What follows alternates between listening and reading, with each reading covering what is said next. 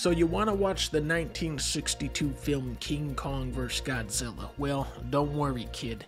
I'm gonna catch you up to speed on every streaming service and how to watch exactly what you want to watch. Netflix. I am subscribed to Netflix because it was a better deal than Blockbuster 24 years ago. For $15 a month, you get Sausage Party, The Pope's Exorcist, Young Sheldon, Old Dads, Bad Moms, Bad Boys, Bad Lieutenant, Bad Santa, Bad Teacher, Bad Tutor, Bad Surgeon, Bad Vegan, Bad Grandpa, Dirty Grandpa, Stupid Boss, Ugly Betty, and Stinky Walter. You get Equalizer 3, Kung Fu Panda 3, and Croods 1, but Equalizer 1 and Croods 2 are only on Peacock. Equalizer 2 is on Hulu, and Kung Fu Panda 1 is on VIX. You get Gray Man, but not Rain Man you get the new Spider Man, but not the first one, which is on Fubo TV. Since Disney owns Marvel, they don't have either, but you can watch the new old Spider Mans and the old new Spider Mans and the old old Spider Mans, except for the newest old Spider Man, which is only on Starz, which is $10 a month. With Starz, you also get John Wick 4, but not the first three, which have just been added to Netflix. However, Starz does offer you the movie Hitman, which is similar because both characters are assassins.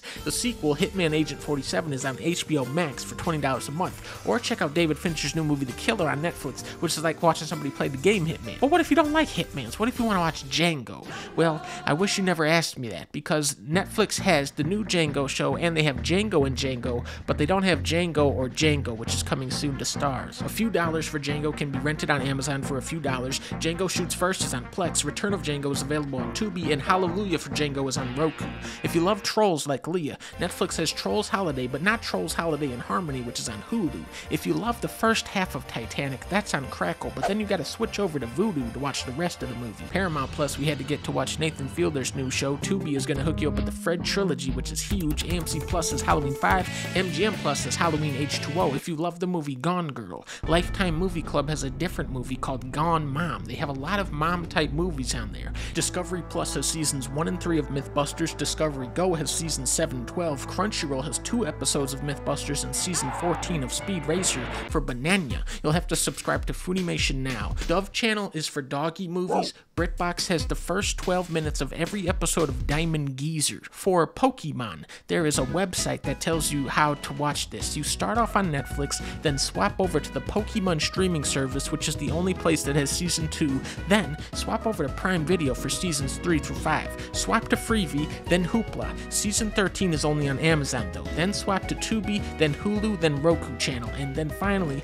back to the Pokemon streaming and then Netflix. Easy. Now let's talk content trades. As you know, streaming services only have a temporary license for most of the media they're allowed to stream. This allows competing services to acquire the rights for their library, unless it's original content they produced, like the show Willow, which was deleted entirely. Next week, Netflix is trading old dads to ABC iView for Daddy Day Camp. Halloween 5 is switching over to Slice, who is selling John Wick Chapter 3 to Gem so that they can afford the rights for Equalizer 2.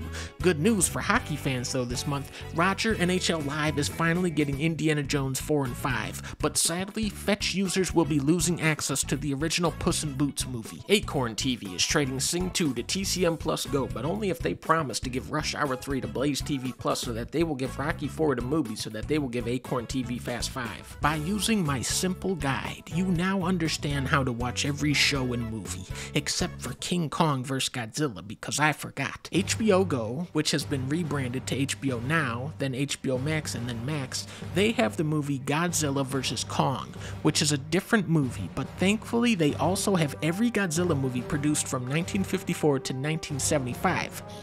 Except for King Kong vs. Godzilla, which is not on any streaming services. You have to buy the Blu ray to watch it.